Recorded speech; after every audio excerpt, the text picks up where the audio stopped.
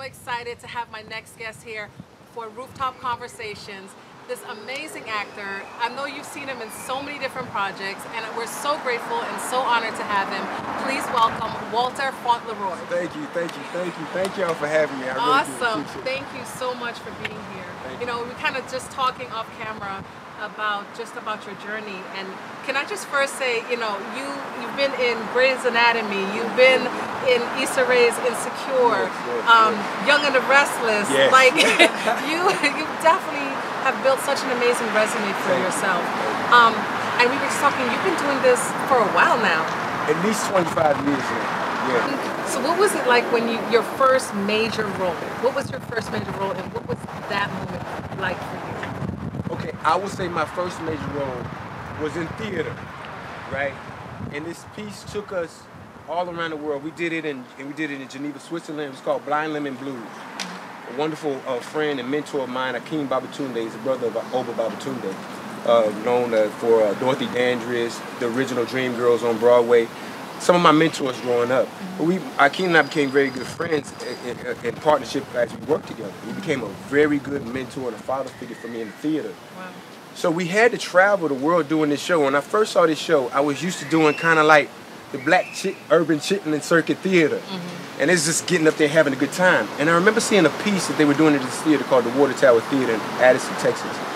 And I saw it on tape, and it reminded me of something off of Broadway. It reminded me of something that I think of when I dream about like the Harlem Renaissance or the Negro Ensemble Theater or Uh-huh. Trinity Rep. Some of the stories I heard about these theaters from, from times past, you know, and I understood I'm standing on the shoulders of a lot of great people that came before me. And it just made me dream. And I was just like, if I could just live that life, not a life in, in film and in television, but like I realized there were people like me that were just living their life like this every day. And I was a network administrator making all this money.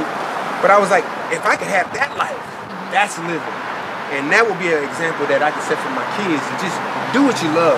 now currently you know let's talk about your you know currently in the oval tyler perry's the oval yeah, um that's so amazing what was that experience for you like going into that It was a test that led to a testimony. I'm Oh, sure wow. Tyler love it. Perry, from the I very it. beginning, Love had in mind, let me see what this guy's made of. Got to test his stock because of the things that I think maybe he had planned for me and what God has shown him. Because from the very beginning, Tyler brought me in. I, I came in on an open call audition for the Madea Farewell Tour.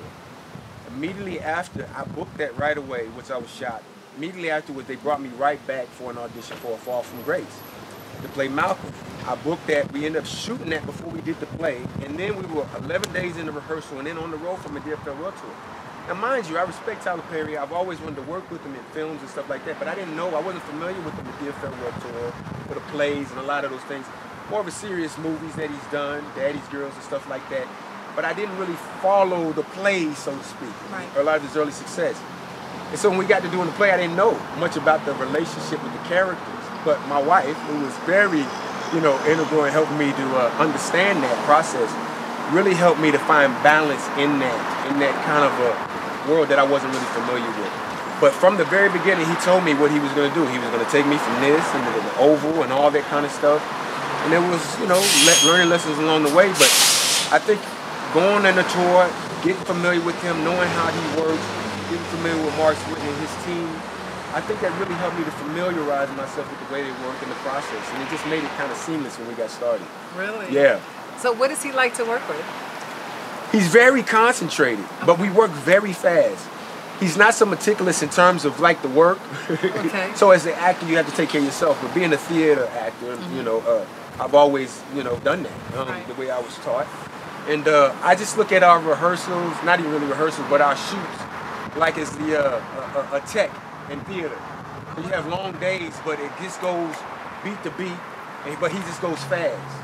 And so I try to come in as prepared as I can before we do the scene because typically we only get one shot. wow Yeah, we typically get one shot and move on. He'll say, "Hey Walter, you need more time." I was like, "Yeah, Todd, can I get more?" Because he can tell I'm like overwhelmed.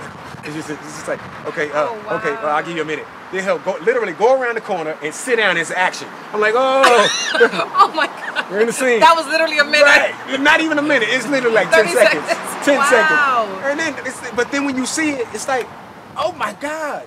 I was so freaked out that day and somehow it looked perfect.